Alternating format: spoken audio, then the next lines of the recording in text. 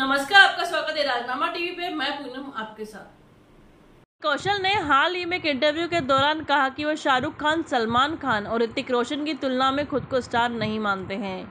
उन्होंने बताया कि आज के दौर में स्टारडम किसी इंस्टेंट कॉफ़ी के जैसे है, जिसे जब चाहे तब हासिल किया जा सकता है। हालाँकि विक्की इन चीज़ों में विश्वास नहीं रखते। विक्की से सवाल किया गया कि वो ऐसा क्यों कहते हैं कि वह एक्टर होने के बावजूद वो स्टारडम का पीछा नहीं कर रहे हैं? क्या वो वाकई खुद को स्टार मानते हैं? इस पर विक्की ने कहा कि उनके लिए फ़िल्म कहो ना प्यार है, में ऋतिक रोशन एक असली स्टार थे।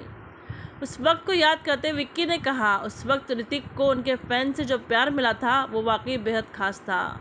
मैं भी उनसे मिलना चाहता था।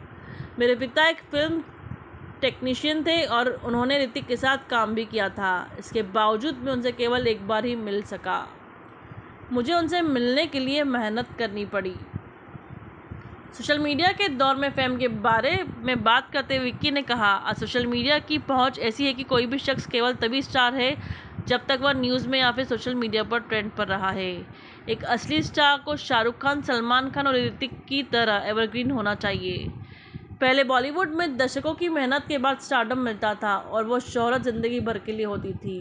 आज के दौर में स्टारडम इंस्टेंट कॉफ़ी की तरह आसानी से हासिल किया जा सकता है।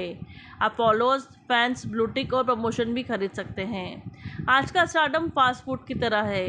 फ़ैन से मुझे जो प्यार मिला उसके लिए मैं आभारी हूँ, लेकिन मैं एक स्टार की तरह महसूस नहीं करता हूँ।